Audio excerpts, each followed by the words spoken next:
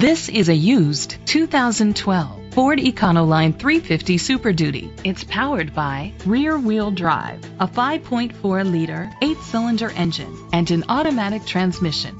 The features include digital audio input, an auxiliary input, steering wheel controls, an adjustable tilt steering wheel, power seats, privacy glass, air conditioning, power steering.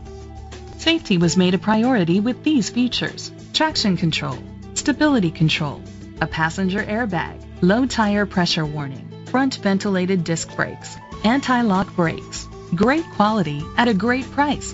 Call or click to contact us today.